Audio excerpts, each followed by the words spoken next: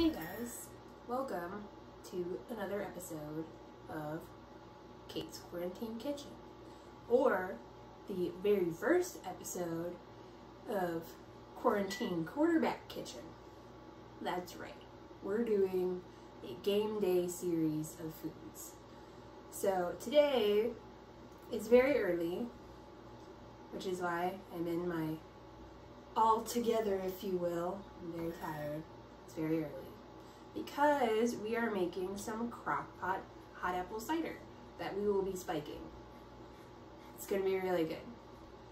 But first things first, we're gonna make a Bloody Mary so that we can focus up. So behold my vodka. No, I don't measure it because I'm a monster. Although standard Wisconsin measurements dictate that you measure vodka by your cup. So whatever cup you have, you fill it halfway with vodka. I'm pretty sure that's frowned upon, but it, I don't care. And the best Bloody Mary mix in the whole world, Zing Zang. Please sponsor me, Zing Zang.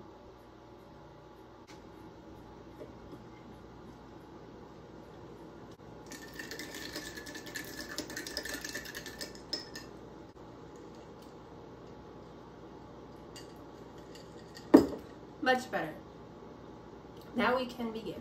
So we're making some hot spiked cider in the crock pot. And I'm not gonna lie to you, there's not a lot to it. it's very easy. So the only reason we need to start early is because it needs to be in the crock pot about six to eight hours. And as we know, football is unreasonably early. I don't know why they do it like that, but here we are. With my crock pot, I have two quarts of water, and then we're just gonna dump in about four pounds of apples that I have chopped in front of me. I used Gala apples or Gaia apples. I'm not actually sure how you say it. But they're apples, and you can actually do different kinds of apples as long as they're not like, I suppose you could make crab apple cider, but 10 out of 10 would not recommend.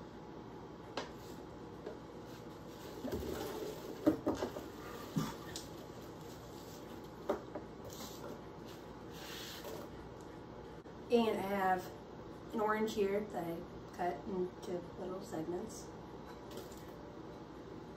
Oops, there's a sticker. I'm a professional. And then we're gonna do four cinnamon sticks. I have like three and a half, or well, there's about four in there. We're just gonna dump them. Then I'm gonna add a teaspoon of allspice and cloves. Whole. Whole allspice, whole cloves. And then we're gonna add half a cup of brown sugar. And that's it guys. You put it on low and let it just sit there for like six to eight hours. And you've got homemade apple cider. That's it.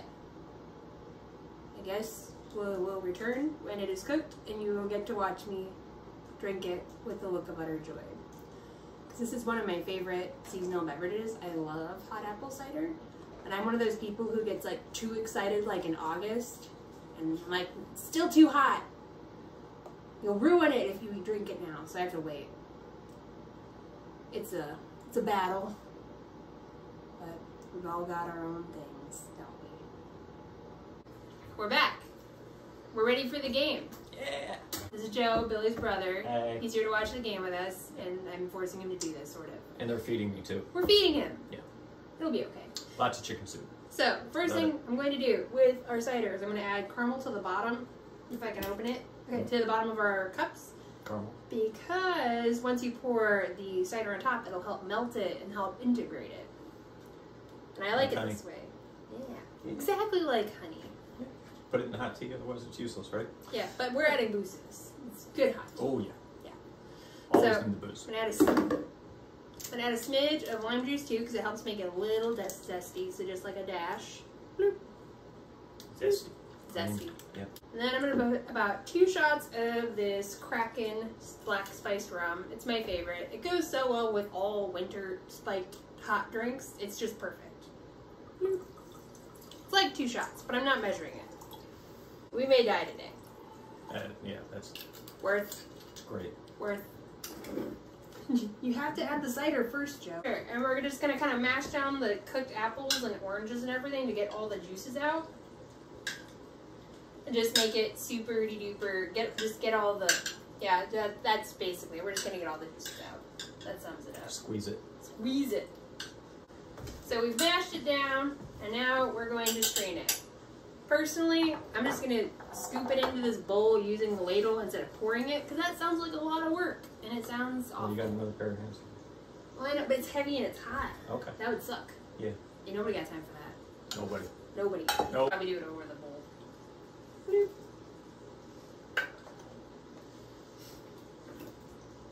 Pitter patter. I'm going. I'm going. I'm scooping. Uh oh. Game starting, Kate. Going. Let's I'm go. going. Ah. Scoop, scoop, scoop, scoop, scoop, scoop, scoop, Right. scoop. Ooh, that looks good. It's a nice orange color. Very, very cidery. Orangey brown color. Yeah. I'm using my spoon to mash it down to get more of the juices out. Mm, those delicious juices. The juices. Sounds so gross. Juicy. So gross. Moist. Squishy. Are we just listing all the words we, the gross sounding words that we know? Is that what we're doing? Right. All right. Yeah. Billy, get a close up of this. Billy, get a close up. Come on. Close up, Billy. Bring it in. Bring it in. Bring it in. See that delicious orange Look at color? it. Oh yeah. Look, at that.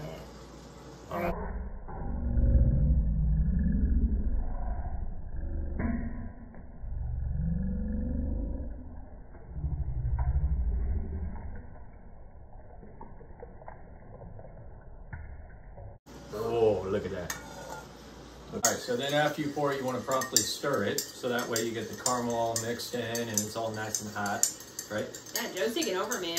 He's in charge go. of the show now. There you go. Alright, do this. Watch out, Kate. Here I come. Alright, cheers. Cheers.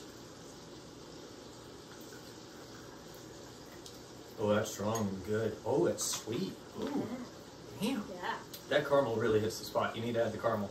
Caramel's where it's at, man. There's brown sugar in it. I'm sure it could work with honey too. Maybe? That's like you're entering hot toddy territory. Oh, okay, that's hot toddy. It's not really my Got deal. The hot cider is my territory. There you So, what's the what's the consensus? Is this good Hmm. stuff? Um, out of ten, I'd say you nailed the number, uh, the amount of alcohol perfectly to complement the uh, amount of caramel and the amount of cider that you put in. Really impressed with how you uh, handled the, uh, the caramel or the the squishing. the squishing. Squishing, The yes. swishing, yeah, that was really very impressive both the strainer. Um, so overall, I'd say about a nine out of ten. Nine out of ten. Nine out of ten for Kate's quarantine kitchen quarterback, whatever this is. Quarantine quarterback kitchen.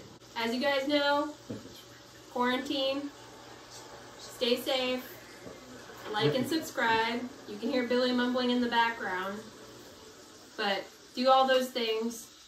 Enjoy your game day with the few people you allow yourself to be near during quarantine. Because these are the tough times, and Joe's back. But, ah! No! Unwanted. Alright, bye. Like and subscribe. Hit the bell. There you go. Bye. Hi, Yeah. Charlie. What are you doing? She is a, a She guest wants to be part of this too. You want to be a part of it? What's Mama doing? What, what's happening? Do you want some cider? Yeah. Yeah. She's so unhappy. Like, why am I being picked up right now?